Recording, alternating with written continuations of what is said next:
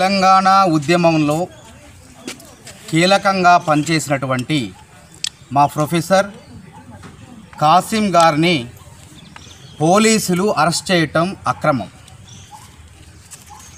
అంటే ఈ ప్రభుత్వం చేస్తున్నటువంటి తప్పుల్ని ఒక విశ్వవిద్యాలయ సమూహంలో విద్యార్థుల మధ్య మాట్లాడుతున్నటువంటి గొంతుక కాసిం.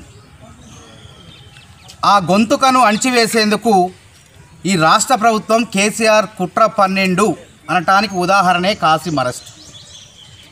ఎప్పుడో దో రెండు వేల పదహారులో ఎవరి దగ్గరనో ప్రమాదంలో కారు ప్రమాదంలో మరి జరిగినటువంటి సంఘటనలో ఏదో ఒక పేపర్లో పేరున్నందుకే ఇతనికి అంటే వేరే వ్యక్తులతో అసాంఘిక శక్తులతో నక్సలైట్లతో సంబంధాలు ఉన్నాయని చెప్పేసి అంటగట్టి కాసిం గారిని రెండు వేల ఇరవై సంవత్సరం అంటే నాలుగు సంవత్సరాల తర్వాత అరెస్ట్ చేయటం అనేది అప్రజాస్వామికం.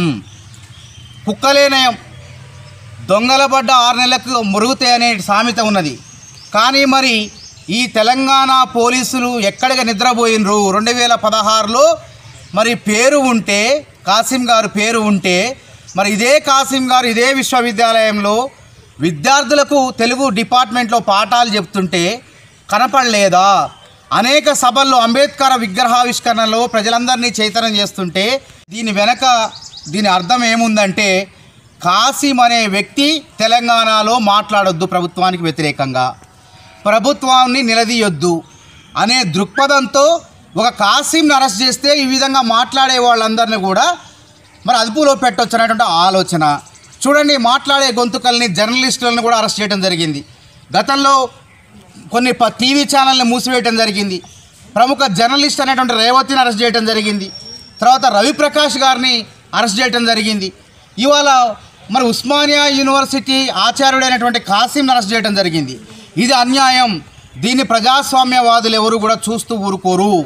వాస్తవంగా కాసింని అరెస్ట్ చేయాల్సిన అంటే ముందుగా ఈ రాష్ట్ర ప్రభుత్వాన్ని ఏలుతున్నట్టు ముఖ్యమంత్రి కేసీఆర్ని అరెస్ట్ చేయాలి. కాసింను కాదు అరెస్ట్ చేయాల్సింది. ఎందుకంటే మరి బహిర్గతంగా నక్సలైట్ ఎజెండానే నా ఎజెండా. నేను అధికారంలోకి వస్తే నక్సలైట్ ఎజెండానే అమలు అమలు చేస్తానని చెప్పి బహిరంగంగా మాట్లాడినటువంటి కేసీఆర్ని మరి కేంద్ర ప్రభుత్వం ఎందుకు అరెస్ట్ చేయదు? మరి విశ్వవిద్యాలయంలో నక్సలైట్ల గురించి కానీ మరి ఎక్కడ కూడా మాట్లాడినటువంటి కాసింని మాత్రం ఎందుకు అరెస్ట్ చేశారని మరి దీని కేంద్ర ప్రభుత్వం దృష్టిలో లేదా అని సందర్భంగా నేను మాట్లాడుతున్నా. ఇంకా అరెస్ట్ చేస్తే మరి కోర్టులు బెయిల్ ఇవ్వడానికి సిద్ధంగా ఉన్నా సరే ఈ పోలీసులు ప్రభుత్వం ఆ వ్యక్తి సుదీర్ఘకాలం జైల్లోనే మగ్గిపోయే విధంగా.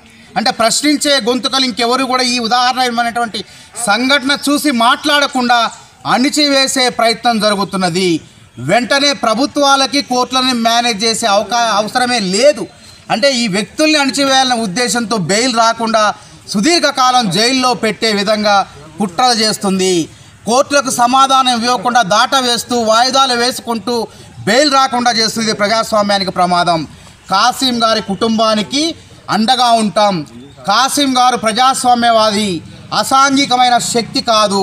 అసాంఘిక శక్తులు ఇంకా చాలామంది ఉన్నారు. వాళ్ళపై దృష్టి పెట్టండి అంతేగాని విద్యార్థుల్ని చైతన్యవంతం చేసే పాఠాలు చెప్పేటువంటి ప్రొఫెసర్లు జోలికొస్తే మాత్రం ఊరుకోము. కాంగ్రెస్ పార్టీగా మేము కూడా ఒక ఆలోచనాత్మకంగా ఉన్నాం. నిజంగా ప్రజాస్వామ్యబద్ధంగా మరి ఎవరైతే ఇట్లా మాట్లాడుతున్నారో ఇట్లాంటి